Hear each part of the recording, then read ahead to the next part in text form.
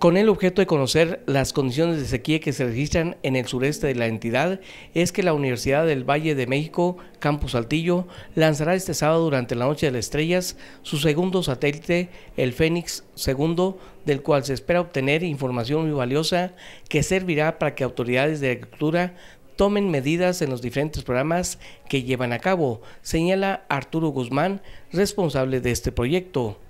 Lo vamos a lanzar, las prestaciones de este satélite del Fénix 2 son de otra vez utilizar el eh, giroscopio, acelerómetro, el magnetómetro y obtener los datos en tiempo real.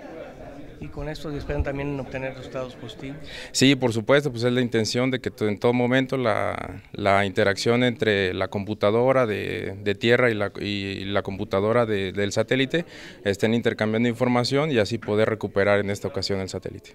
¿Qué, haría básicamente este prototipo que presentas? Va a tomar medidas de temperatura principalmente y va a tomar medidas de, lo que es el acelerómetro y el giroscopio, que el acelerómetro nos da la aceleración gravitacional,